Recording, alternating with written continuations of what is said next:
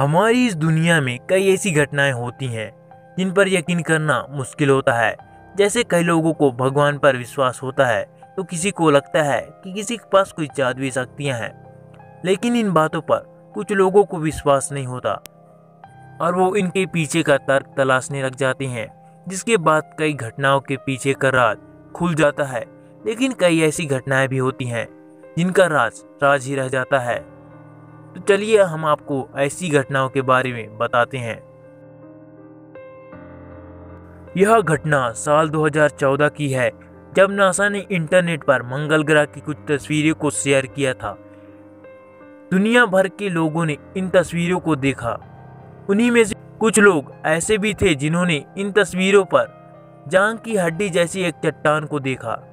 लेकिन इस बात का पता आज भी वैज्ञानिकों को नहीं लग पाया। कि आखिर मंगल ग्रह पर जांग की हड्डी जैसी चट्टान कहाँ से आई थी? जनवरी 2012 में फ्लोरिडा के किस्टोन हाइट्स में अचानक दर्जनों कछुओं की मौत हो गई। यहाँ के निवासियों का कहना था कि उन कछुओं को एक दर्दनाक मौत नसीब हुई थी।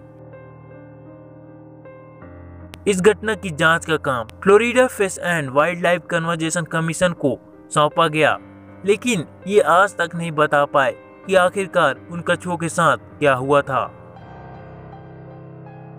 साल 2011 में अमेरिका के लेक मिशिगन में खोजकर्ताओं को एक जहाज़ मिला। उनका दावा है कि वे सत्रहवीं शताब्दी का एक खोया हुआ जहाज़ है, जिसे सोलह सौ नवासी में बनाया गया था, लेकिन विशेषज्ञों के मुताबिक ऐसा कोई जहाज़ उस समय नहीं बनाया गया था। इस जहाज़ के बारे में कोई सही सबूत आज तक नहीं जुटा पाया है। ये घटना साल 2002 की है, जब जेसन पेटेज नामक एक व्यक्ति के सिर पर दो लोगों ने तीव्रता से वार किया।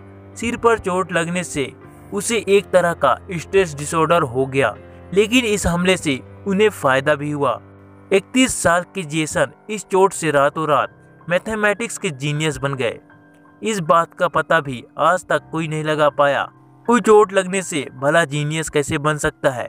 जेसन से जुड़े लोग इसे एक तरह का चमत्कार बताते हैं। विज्ञान कहता है कि बिना खाए एक व्यक्ति करीब 30 से 40 दिनों तक जीवित रह सकता है, लेकिन बिना पानी पिए कोई व्यक्ति पाँच दिनों से ज़्यादा जीवित नहीं रह सकता। ये बात अपने आप में एक अजूबा है कि भारत के ऐसे शख्स हैं जिनका नाम प्रहलाद जानी है। शायद इन्हें आप जानते भी होंगे। इनकी उम्र करीब तिरासी साल है और इनका कहना है कि इन्होंने पिछले बहत्तर सालों से ना कुछ खाया है और ना ही कुछ पिया है।